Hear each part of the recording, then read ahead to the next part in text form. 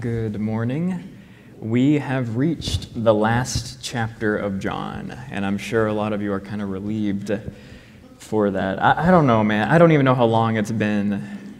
Anybody got tabs on that? It's been, I think, like six months at least. But uh, I, don't, I don't regret it. Um, it's, it's a good gospel, and the, the more I have. The more I've read it, the more I've studied it, the, the, it's just solidified itself as my, my favorite book uh, in, in all the Bible. Obviously, that's just my opinion, but for, for me, it's just such, it's such a rich gospel theologically. And you know, if you're like me, your favorite book has probably changed over time.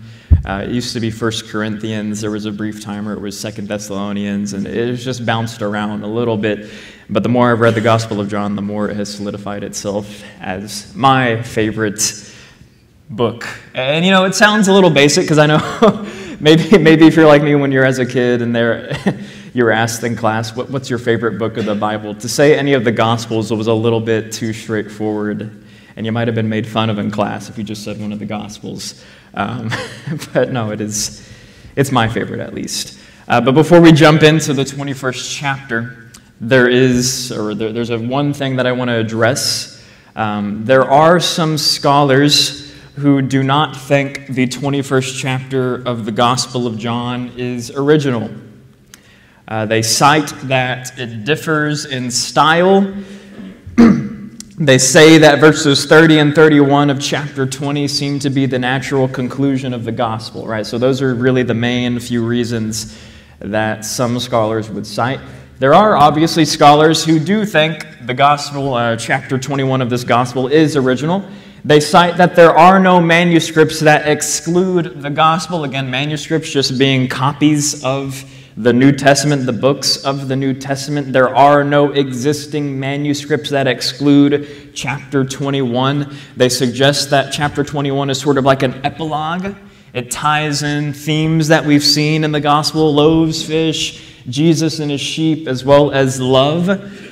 Now, Uh, there's more to this debate, and I'm not going to belabor it too much, but in my opinion, if no existing manuscripts exclude chapter 21, I think that's more than enough reason to believe that this chapter is original to the gospel. I know I'm boring a lot of you right now. This is just this is just some interesting stuff to me. Sometimes I like to touch on scholarly debate that exists, just so you're at least aware of it. Just be aware that there are scholars who disagree on whether or not this is original. I think if no manuscripts exclude it, they all include it, then it's more than likely original. Not to mention theologically, what you're going to see is that chapter 21 ties to a lot of things that John has already written about. So, Unlike last week, where I preached a more straightforward three point kind of sermon, this week I'm just going to approach the text more exegetically. We're going to walk through making some observations. Some observations are serious, some observations are a bit funny. Um, you'll see what I mean. But chapter 21, verses 1 through 14. Chapter 21, verses 1 through 14. After this, it's not in the slides. I'm just going to read through it, so just listen for now. Chapter 21, verses 1 through 14. After this, Jesus revealed himself again to the disciples by the Sea of Tiberias, and he revealed himself in this way. Simon Peter, Thomas, called the twin, Nathanael of Cana in Galilee, the sons of Zebedee, and two others of his disciples were together. Simon Peter said to them, I'm going to go fishing. Then they said to him, We'll go with you. They went out and got into the boat, but that night they caught nothing. Just as day was breaking, Jesus stood on the shore, yet the disciples did not know that it was Jesus. Jesus said to them, Children, do you have any fish? They answered him, No. And he said to them, Cast the net on the right side of the boat, and you will find some. So they cast it, and now they were not able to haul it in because of the quantity of fish. that disciple whom Jesus loved therefore said to Peter, It is the risen Lord. It is the Lord. When Simon Peter heard that it was the Lord, he put on his outer garment, for he was stripped for work, and threw himself into the sea. The other disciples came into the boat, dragging the net full of fish, for they were not far from land, but about a hundred yards off. When they got out on land, they saw a charcoal fire in place with fish laid out on it and bread. Jesus said to them, Bring some of the fish that you've just caught. So Simon Peter went aboard and hauled the net ashore full of large fish, 153 of them. And although though there were so many, that the net was not torn. Jesus said to them, Come and have breakfast. Now none of the disciples dared ask him, Who are you? They knew it was the Lord. Jesus came and took bread and gave it to them, and so with the fish. This was now the third time that Jesus was revealed to the disciples after he was raised to, from uh, the dead. So, you probably think, hey, I've heard this before, and you have heard this before. If you've read all the Gospels, we have a similar account in Luke chapter 5, verses 1 through 11. And here's the thing John 21 is pretty clearly a different occurrence. They are similar, but there are pretty distinct differences. And now, in the context of John, John chapter 20, we notice that Jesus, he appeared to the disciples twice. Twice. First time, he appeared to the 10, excluding Thomas. The second time, he appeared to all 11. And now, and here, John chapter 21, he appears to some of the disciples at the Sea of Tiberias. The Sea of Tiberias, that's just another name for the Sea of Galilee. Right, just for context, Galilee is more than likely where all the 11 disciples are from, more than likely where they're from. And interestingly enough, just some context, Judas seems to be the only one of the 12 who was not from Galilee. When he's called Judas Iscariot, Iscariot possibly means man from Kerioth. Kerioth was a city that was in Judea, so do what you want with that information, but it is interesting to me, at least, that the 11 that remain with Jesus seem to be from Galilee, while Judas was not from Galilee, but from Judea. Verse 2, I'm going to read that again. It says, Simon Peter, these are the disciples that were there. Simon Peter, Thomas called the twin, Nathanael of Cana in Galilee. Pause. That's the Nathanael from early in the Gospel of John when he sees Jesus approaching and he's thinking to himself, surely nothing good can come out of Nazareth. And then Jesus says to them, uh, You know, I, I saw you under the fig tree. Then Nathanael believes. Um, that that's this Nathanael. And then the sons of Zebedee, verse 2, and two other disciples were together. Sons of Zebedee, those are James and John. And just to clarify, we have two Johns, right? There are two Johns uh, that are disciples, that are apostles. We have John, who's the son of Zebedee, and then we have John, who is the writer of this gospel. John, the writer of this gospel, is often referred to as the beloved disciple. So, two different Johns John, who is the son of Zebedee, and then John, who is the writer of the gospel. Just so you know, James and John, as we know according to Luke chapter 5, they're partners with Peter in fishing. Right? This is kind of how they all got together, how they know each other. Again, being from Galilee, that was one of the main kind of jobs that they had. And as for the other two disciples, if you notice in verse 2, it says the. Uh, and two others of his disciples were together. Who are those disciples? Well, one, obviously, the writer of this gospel, John, who's referred to as the beloved disciple, we'll see later on in this account.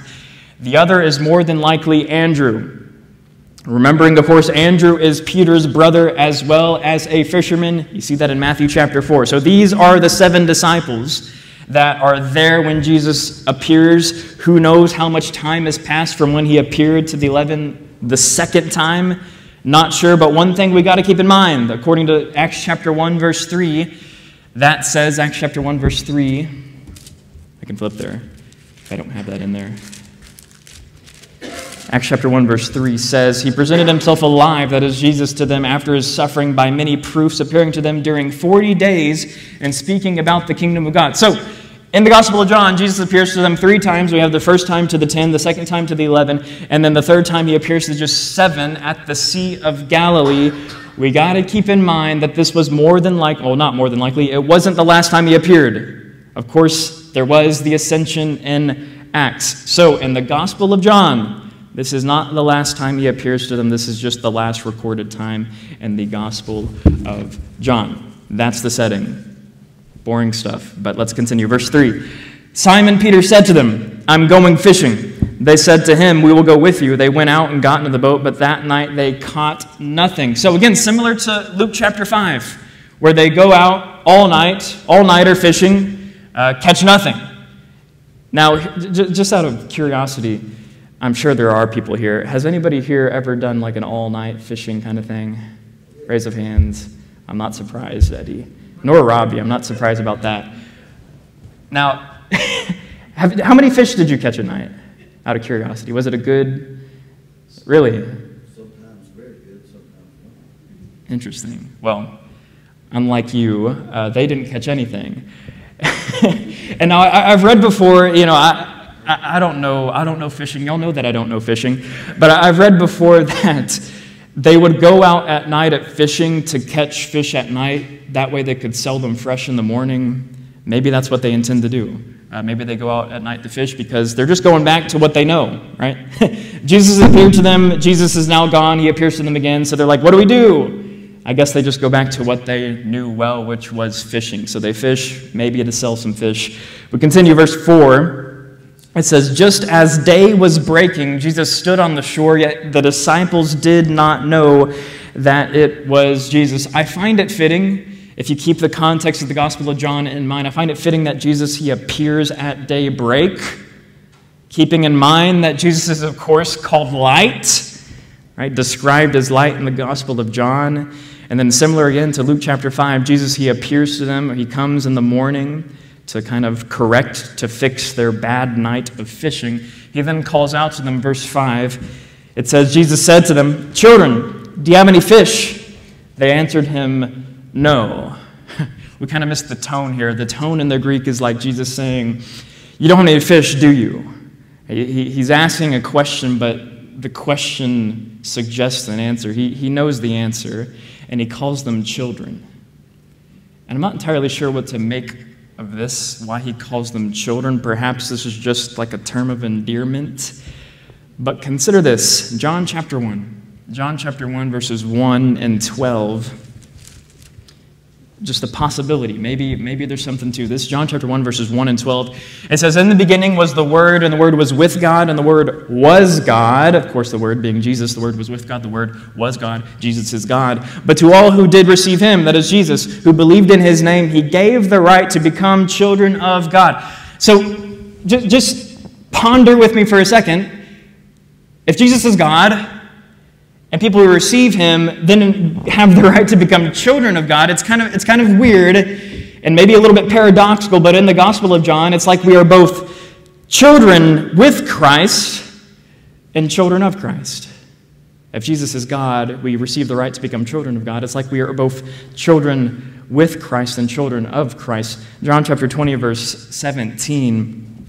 John chapter 20, verse 17, again, what Jesus said to Mary Magdalene just the, ver- the, second half of the verse, he says, I'm ascending to my Father and your Father, my God and your God. So it's kind of a, a weird, paradoxical teaching is that we're both children of him and with him. Uh, make of that what you will, but that's, that's what I'm getting from the text. Jesus responds in verse 6 here, chapter 21. He said to them, Cast the net on the right side of the boat, and you will find some. So they cast it, and now they were not able to haul it in because of the quantity of the fish. Again, similar to Luke chapter 5, but in Luke chapter 5, it records that the nets were breaking. So much so that they had to put the fish in the two boats they had, and it caused the two boats to sink. So, again, they're similar accounts, but there are distinct differences here. The, we're going to see that the nets were not breaking, and it was obviously quite a large catch, similar to Luke chapter 5, verses 7. Uh, hang on a second, no, let's back up. I'm going to read verse 6 again. He said to them, Cast the net on the right side uh, of the boat, and you will find some. So they cast it. Now they're not able to haul it in because of the quantity of fish. Verse 7 and 8 The disciple whom Jesus loved therefore said to Peter, the disciple he loved, that is John, It is the Lord. And when Simon Peter heard that it was the Lord, he put on his outer garment, for he was stripped for work, and threw himself into the sea. Uh, the other disciple came the other disciples came into the boat, dragging the net full of fish, for they were not far from the land, but about a hundred yards off. Now, this is what I meant when I said that there would be some more serious observations and then some not so serious observations. Peter was stripped. now, the word here for stripped can mean naked, southern naked, right? It can mean naked.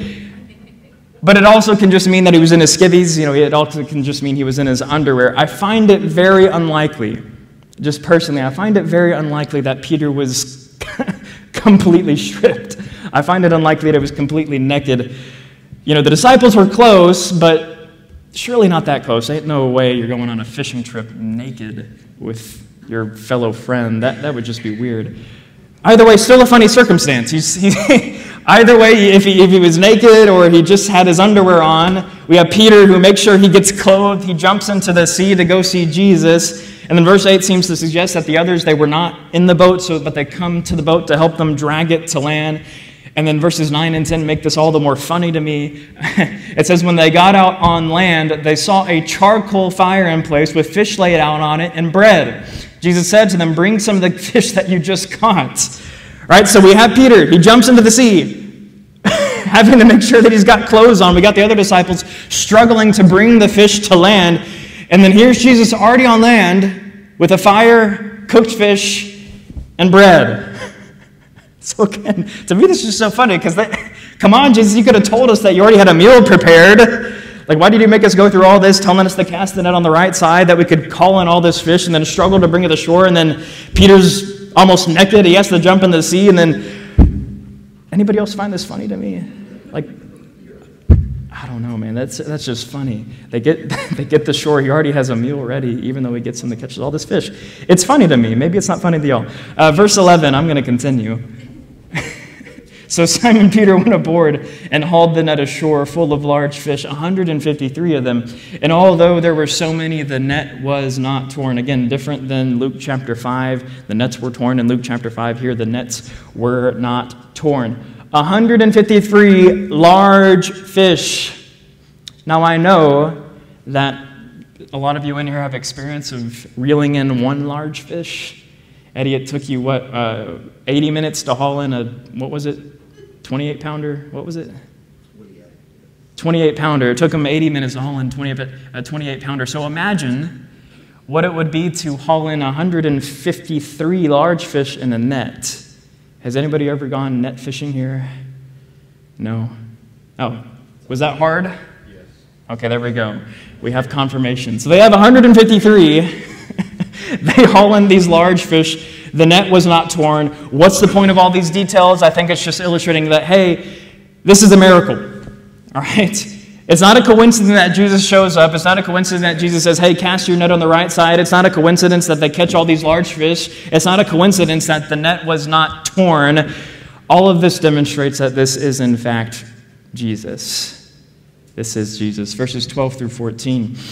Jesus said to them, Come and have breakfast. Now, none of the disciples dared to ask him, Who are you? They knew it was the Lord. And Jesus came, took the bread, and gave it to them, and so with the fish. This was now the third time that Jesus was revealed to the disciples after he was raised from the dead. This was specifically why I wanted to title of this sermon, Commune with the Risen Lord. Now, obviously, this is not this is not communion in the exact same sense as they had the Lord's Supper, but this is communion. The Greek word koinonia for communion can be translated as fellowship, uh, just, just intimacy. Intimacy. I, I mentioned this before that it, and sometimes it's used in a, in a sexual context. The point being is that the word itself has to do with close, intimate connection. All right, so this is not exactly like the, the Lord's Supper, but this is communion. This is intimate fellowship with the risen Lord. And I don't want anybody to misunderstand me, but communion was never meant, it was never meant to be exclusive to what we practice on Sunday. Communion was never meant to be exclusive to what we practice on Sunday. I'm thankful that we practice communion, the, the kind of communion we have every Sunday, but I understand that that's not the only time we have communion. It shouldn't be. Communion with Christ ought to be an every single day thing. Intimate connection with our Lord ought to be every single day. And I certainly hope, I certainly hope, and I think we've made progress and, and growth in a lot of ways in this regards, but I certainly hope that we share this kind of intimacy outside of today. Communion does not have to, again, communion does not mean that you have to gather together and take some juice, take some bread. That's, again, communion is not exclusive to that. I think that's one thing we, we maybe misunderstand is that communion does not just mean gathering together, taking a cracker, taking some juice. Communion has more to do with than what we practice on Sunday. And I hope that we practice it more often. Again, not talking about the cracker and the juice. How can we have fellowship if it's just on Sunday? And so the disciples here, they, they have communion with the risen Lord. And this is significant for a number of reasons, but one reason is this is just more evidence of the risen Lord. Or they did not just see him, they did not just hear him, they did not just touch him, they sit down and have a meal with him. They share a meal. And when I read this text, when I read that he, he took the bread and gave it to him, this is absolutely a callback to the Lord's Supper as he was taking the bread and giving it to them and talking about, hey, I'm the bread of life. This is also a callback all the way to Jesus feeding the 5,000, where he takes the loaves and the fish, and somehow everybody receives and is satisfied. I think ultimately pointing to the fact that Jesus is, is all satisfying. When we come to Him, we believe in Him, we, are all, we, are, we receive satisfaction. We don't need anything else when we come to the Lord. So, what I'm trying to say is when we read John chapter 21, I know there are scholars who may not think that this is original, but there are so many ways in which this ties back to things we've already read in the Gospel of John. As I pointed out before, the Gospel of John is so interconnected. This is not just a standalone account. This calls back to the Lord's Supper. This calls back to the feeding of the 5,000. This calls back to so much of what Christ has taught concerning himself, what he's taught concerning communion. And so they have communion with the risen Lord. And even now, even though we do not see Jesus as they saw Jesus, we have communion with him. We have communion with him, not just today. Revelation 19, this is not in the slides. Revelation 19, the way Revelation depicts this kind of communion, I don't want you to get caught up too much in the imagery here, but it, it depicts a certain kind of communion. Revelation 19, verses 6 through 10.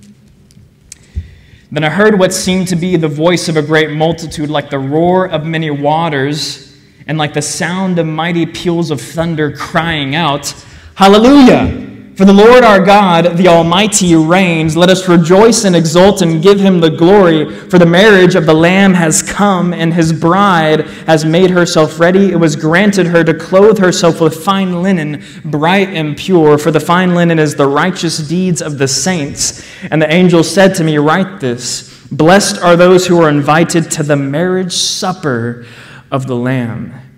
And he said to me, These are the true words of God. Then I fell down at his feet to worship him, but he said to me, You must not do that. I'm a fellow servant with you, and your brothers who hold the testimony of Jesus worship God. For the testimony of Jesus is the spirit of prophecy.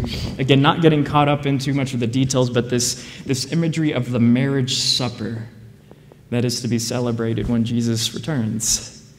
And also, Revelation 22, verses 1 through 5. Though it's kind of subtle, it's kind of implicit. Revelation 22, verses 1 through 5. Then the angel showed me the river of water of life, bright as crystal, flowing from the throne of God and of the Lamb through the middle of the street of the city. Also, on either side of the river, the tree of life, with its 12 kinds of fruit, yielding its fruit each month. The leaves of the tree were for the healing of the nations. No longer will there be anything accursed, but the throne of God and of the Lamb will be in it, and his servants will worship him. They will see his face, and his name will be on their foreheads, and night will be no more. They will need no light of lamp or sun, for the Lord God will be their light, and they will reign forever and ever. Just that imagery of the tree of life on either side of the river producing fruit forever. Or what kind of fruit tree produces fruit forever? That we know of. Or the imagery is that, hey, when you're in the kingdom of God, the, the full presence of God, you are eternally provided for. You got the tree of life providing fruit, food for eternity that you enjoy with Him. And so, I'm going to bring this out, I bring Revelation out because it, it demonstrates, it depicts that this eternal communion, really, that we'll have with him after he returns. Eternal satisfaction, eternal worship of him, e- eternal presence with him. Right? And so I say this again the disciples here in, in John chapter 21, they commune with the risen Lord, and currently we commune with him, and eventually we will commune with him for eternity face to face. So believe, receive, commune with the risen Lord.